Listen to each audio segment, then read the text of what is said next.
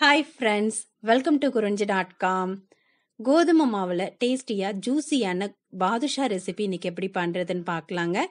நார்மலாக நம்ம பாதுஷா பார்த்தீங்கன்னா கடைங்களில் மைதாவும் டால்டாவும் சேர்த்து செய்வாங்க. இன்னைக்கு நம்ம மைதா டால்டா இது ரெண்டுமே இல்லாமல் கோதுமை மாவில் நல்ல ஜூஸியான பாதுஷா செய்ய போகிறோம் இப்போ ஃபஸ்ட்டு நம்ம மாவு பிணைஞ்சு எடுத்துக்கலாம். நான் ஒரு கப் அளவுக்கு கோதுமை மாவு எடுத்திருக்கேன். இந்த கப்போட அளவு பார்த்தீங்கன்னா இரநூத்தி ஐம்பது எம்எல் அளவு வரும். கிராம் கணக்கில் பார்த்தீங்கன்னா நூற்றி நாற்பது கிராம் வரும். இப்போ இது கூட அரை ஸ்பூன் அளவுக்கு பேக்கிங் பவுடர் சேர்த்துக்கோங்க. பேக்கிங் பவுடர் இல்லைன்னா கால் ஸ்பூன் அளவுக்கு சமையல் சோடா சேர்த்துக்கலாம். ஒரு சிட்டிகை உப்பு சேர்த்துட்டு ஒரு டேபிள் ஸ்பூன் அளவுக்கு நெய் சேர்த்துக்கலாம். நெய் அல்லது டால்டா இது ரெண்டுல எது வேணா சேர்த்துக்கலாம். நீங்க டால்டா செய்ய சேர்த்து செய்ய விருப்பமா இருந்தா டால்டா சேர்த்துக்கோங்க. டால்டா வேண்டான்றவங்க இந்த மாதிரி நெய் சேர்த்து செய்யுங்க. ஆனா எண்ணெய் சேர்த்து செய்யாதீங்க. இப்போ இந்த மாவை நல்லா கலந்து விட்டுக்கலாம்? நெய் எல்லா மாவுலையும் படுற மாதிரி கலந்து விட்டுட்டு அதுக்கப்புறமா இது கூட ஒரு டேபிள் ஸ்பூன் அளவுக்கு தயிர் சேர்த்துக்கலாம். இந்த தயிரும் பேக்கிங் பவுடரும் சேர்ந்து ரியாக்ட் ஆகிட்டு தான் நமக்கு அந்த பாதுஷாவுக்குள்ளே வர லேயர்ஸ் வரும். கடைங்களில் பாதுஷா பார்த்தீங்கன்னா அதிகமான அளவில் டால்டா சேர்ப்பாங்க. நம்ம இன்னைக்கு ஒரு ஒரு டேபிள் ஸ்பூன் அளவுக்கு மட்டும்தான் நெய் சேர்த்துருக்கோம். இப்போ இது கூட கொஞ்சம் கொஞ்சமாக தண்ணி தெளித்து இந்த மாவு வந்து ரொம்ப லூஸா இல்லாமல் நல்லா டைட்டாக பிணைஞ்சு எடுத்துக்கோங்க. இதில் நம்ம சமையல் சோடாவுக்கு பதிலாக பேக்கிங் பவுடர் சேர்க்கும் போது தான் அந்த லேயர்ஸ் நல்லா வரும். அதனால் முடிஞ்ச வரைக்கும் பேக்கிங் பவுடர் சேர்த்துக்குங்க. இப்போ இந்த மாவை அப்படியே ஒரு பதினஞ்சுலேருந்து இருபது நிமிஷம் அப்படியே ஊற விட்டுடுங்க. நல்லா ஊறினாதான் நமக்கு நல்ல சாஃப்டான பாதுஷா கிடைக்கும். இப்போ மாவு ஊறி இருக்க டைமில் ஒரு கப் அளவுக்கு சர்க்கரை எடுத்திருக்கேன். எந்த கப்பால நம்ம மாவு அளந்து எடுத்தோமோ அதே கப்பால ஒரு கப்பு சர்க்கரைக்கு ஒரு கப் அளவுக்கு தண்ணி விட்டுக்கலாம். இப்போ இந்த சர்க்கரை நல்லா கரைஞ்சி கொதி வரட்டும். வாசனைக்காக கால் ஸ்பூன் அளவுக்கு ஏலக்காய் தூள் சேர்த்துக்கலாம். இது கம்பி பதம் வர்றதுக்கு முன்னாடியே நம்ம எடுத்துடலாம். அதாவது நல்லா வந்து ஒரு அஞ்சு நிமிஷம் அந்த சர்க்கரை தண்ணியை நல்லா கொதிக்க வச்சுட்டு தொட்டு பார்த்தீங்கன்னா நல்ல பிசுபிசுப்பு தன்மை இருக்கணும். ஆனால் கம்பி பதம் வரக்கூடாது. அதுக்கு முன்னாடி நிறுத்திடுங்க. அந்த பதம் வர வரைக்கும் நல்லா கொதிக்க விட்டுக்குங்க.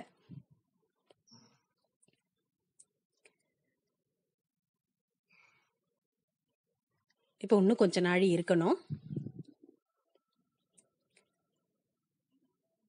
இப்போ நல்லா திக்காயிட்டு கம்பி பதம் வரலை. ஆனால் நல்ல பிசுபிசுப்பு தன்மை வந்துடுச்சு. இப்போ இந்த ஸ்டேஜில் அந்த சர்க்கரை இதுக்கு மேலே உரையாமல் இருக்கிறதுக்காக ஒரு அஞ்சுலேருந்து ஆறு சொட்டு அளவுக்கு எலுமிச்சம் சாறு இது கூட சேர்த்துக்கலாம். அதிகமாக சேர்த்துட்டாலும் புளிப்புத்தன்மை வந்துடும் ஒரு அஞ்சுலேருந்து ஆறு சொட்டு மட்டும் சேர்த்துக்குங்க. இப்போ இதை அப்படியே எடுத்து வச்சிடலாம்.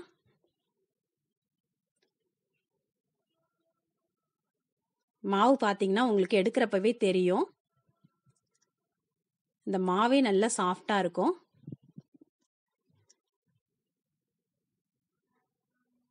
இப்போ பாருங்கள் அந்த மாவு நம்ம இப்படி பண்ணி பார்க்கும்போதே தெரியும். அந்த தயிர் கூட பேக்கிங் பவுடர் சேர்ந்துட்டு இந்த மாவில் நல்லா ரியாக்ட் ஆகிருக்கும் இப்போ இதை நம்ம சின்ன சின்ன உருண்டைகளாக நமக்கு பாதுஷா எந்த சைஸுக்கு வேணுமோ அந்த சைஸுக்கு உருண்டை உருட்டி போட்டுக்கலாம்.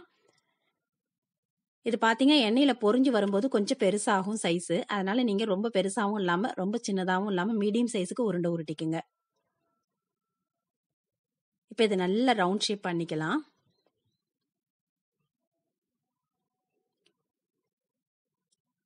மாவு நல்லா நீங்கள் டைட்டாக பிணைஞ்சு வைங்க. இப்போ இந்த மாதிரி நல்லா ஷேப் பண்ணிவிட்டு ஒரு அழுத்தம் கொடுத்து நடுவில் அழுத்தி விட்டோம்னா நமக்கு பாதுஷா ஷேப் வந்துடும் ரொம்ப சிம்பிளாக செய்யக்கூடிய பாதுஷா ரெசிபி ஆனால் நல்ல ஜூஸியாகவும் இருக்கும் டேஸ்டியாகவும் இருக்கும்.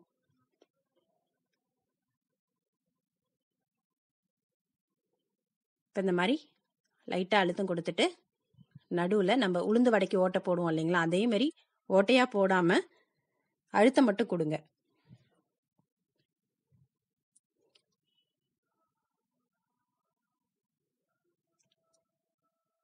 இப்போ இந்த மாதிரியே நம்ம எல்லா மாவும் உருட்டிட்டு ரெடி பண்ணி எடுத்து வச்சிடலாம்.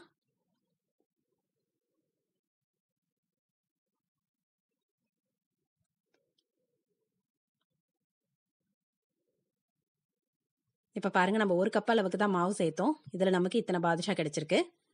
இதை பொறிச்சு எடுக்கிறதுக்கு எண்ணெய் நல்லா வந்து லோ ஃப்ளேமில் வச்சு சூடு பண்ணுங்கள் ரொம்ப ஹை ஃப்ளேமில் இருக்கக்கூடாது இப்போ எண்ணெய் கொஞ்சம் சூடானதுமே நம்ம எப்படி வந்து இந்த குலோப் ஜாமுக்கு உருண்டையை பொரிப்போம் இல்லைங்களா? அதே மாதிரி தான் இது. இப்போ எண்ணெய் நல்லா சூடாக இருக்குது ஆனால் வந்து ரொம்ப சூடு இல்லை. அந்த மாதிரி பதத்தில் இப்போ இதில் நம்ம ஒரு ஒரு பாதுஷாவாக போட்டுடலாம். இது அந்த நிதானமான தீலியே வெந்துட்டு நல்லா அது மேலே எழும்பி வரும். இப்போ அடியில் இருக்கிற பாதுஷா எல்லாமே நல்லா மேலே எழும்பி வரும். அப்படி வரும்போது தான் நமக்கு நல்லா வெந்து கிடைக்கும். இப்போ பாருங்க லைட்டாக பபிள்ஸ் வருது. ஆனால் எண்ணெய் ரொம்ப வந்து புகையிற அளவுக்கு சூடு கிடையாது. லோ ஃப்ளேமில் வச்சு இதை பொரிச்சிடுங்க இப்போ பாருங்கள் எல்லாமே தானாக ஒன்று ஒன்றா மேலே எழும்பி வருது. நம்ம போட்ட சைஸை விட கொஞ்சம் பெருசாக ஆகுது. இந்த மாதிரி நிதானமாக வெந்தாதான் பாதுஷா உள்ளேயும் நல்லா வெந்துட்டு அந்த மேலேயும் லேயர் பார்த்தீங்கன்னா நல்லா கிறிஸ்பியாக இருக்கும். இப்போ இந்த மாதிரி ஒன்றை போல் நல்லா மேலே எழும்பி வந்ததுக்கப்புறம் இதை திருப்பி திருப்பி விட்டு ரெண்டு பக்கமும் பொன்னிறம் ஆகிற வரைக்கும் வேக வச்சு எடுத்துக்கலாம்.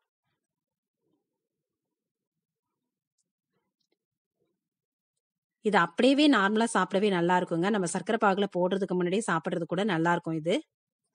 நல்லா கிறிஸ்பியாக இருக்கும் சாப்பிட்றதுக்கு. இப்போ நம்ம இது பார்க்கும்போதே தெரியும் நம்ம மைதாவில் வாங்குற பாதுஷா மாதிரியே இருக்கும் அந்த லேயர்லாம்.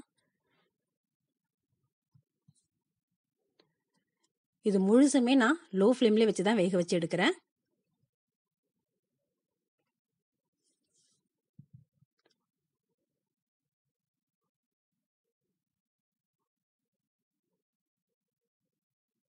இப்போ பாருங்க இது வெந்து வரும்போதே தெரியுதுல்ல அந்த வெடி வெடிப்பாக வருது பாருங்க. இப்படி இருந்தாதான் அந்த சர்க்கரை பாகம் உள்ள நல்லா இறங்கும். இல்லைன்னா நமக்கு சர்க்கரை பாகு உள்ள இறங்காது. நீங்க பேக்கிங் பவுடர் போட்டு செஞ்சீங்கன்னா கண்டிப்பா உங்களுக்கு இந்த மாதிரி வரும். இப்போ இந்த மாதிரி நல்லா ரெண்டு பக்கமும் திருப்பி திருப்பி விட்டு லைட்டான ஒரு பொன்னிறம் வந்ததுக்கு அப்புறமே நம்ம எண்ணெயிலேருந்து வடிகட்டி எடுத்துடலாம். அந்த எண்ணெயோட சலசலப்பும் அடங்கிடும்.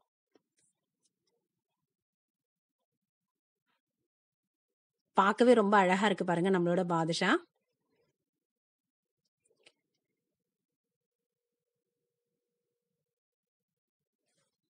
இப்போ இதை பொறிச்ச உடனே நம்ம ஏற்கனவே ரெடி பண்ணி வச்சிருக்க சர்க்கரை பாகில் இதை சேர்த்துடலாம். அந்த சூடோடு சேர்த்துடுங்க.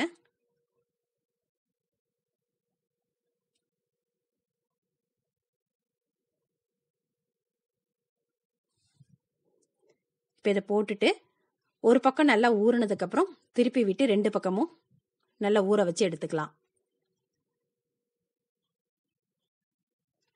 நீங்கள் சர்க்கரை பாகு ஒரு கம்பி பதம் வந்துடுத்துனா பாதுஷாவுக்குள்ள சர்க்கரை பாகு இறங்காது. அதே மாதிரி நல்ல ஒரு பிசுபிசுப்பு தன்மை வர்றதுக்கு முன்னாடி நீங்கள் நிறுத்திட்டாலும் பாதுஷா ரொம்ப ஊறின மாதிரி ஆகிடும் உங்களுக்கு அந்த டேஸ்ட் கரெக்டாக இருக்காது. அதனால கரெக்டான பதத்துக்கு நல்ல திக்கான ஒரு பிசுபிசுப்பு தன்மை வர்ற வரைக்கும் சர்க்கரை பாகு கொதிக்க வச்சு எடுத்துக்கோங்க. இப்போ இது அப்படியே ஊறிட்டு இருக்கட்டும் இப்போ இதே மாரி நம்ம மீதி இருக்கிற மாவையும் பொறிச்சு எடுத்துடலாம். நல்லா லோ ஃப்ளேமில் போடுங்க. தானாகவே அது வெந்து மேலே எலும்பி வரும். இப்போ இந்த மாதிரி எல்லாத்தையும் வெந்ததுக்கப்புறம் நம்ம நம்ம போட்ட சைஸை விட கொஞ்சம் பெருசாக இருக்கு பாருங்க எல்லாம்.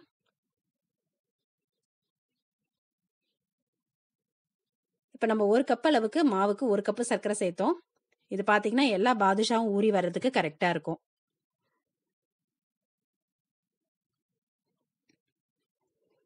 இப்போ நம்ம ஏற்கனவே போட்டது ஓரளவுக்கு ஊறி இருக்கு.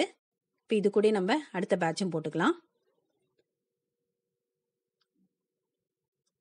இப்போ இது அப்படியே ஒரு பதினஞ்சுலேருந்து இருபது நிமிஷம் விட்டுடுங்க. நல்லா ஊறட்டும். இப்போ பாருங்க பாதுஷாலாம் நல்லா ஊறி அந்த சர்க்கரை பாகெல்லாம் இழுத்துட்டு பார்க்கவே நல்ல ஒரு ஷைனிங்கோட நல்லா ஜூஸியாக இருக்கு. இப்போ நான் எடுத்து காட்டுறேன். இப்போ நம்ம இதை சர்வ் பண்ணிக்கலாம்.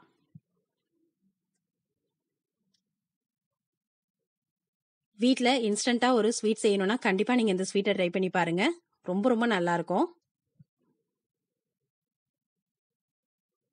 இந்த ரெசிபி உங்களுக்கு பிடிச்சிருந்தா லைக் பண்ணுங்க ஷேர் பண்ணுங்க சப்ஸ்கிரைப் பண்ணுங்க. உங்க ஃப்ரெண்ட்ஸ் ரிலேட்டிவ்ஸோட இந்த வீடியோவை ஷேர் பண்ணிக்கோங்க. நன்றி வணக்கம்.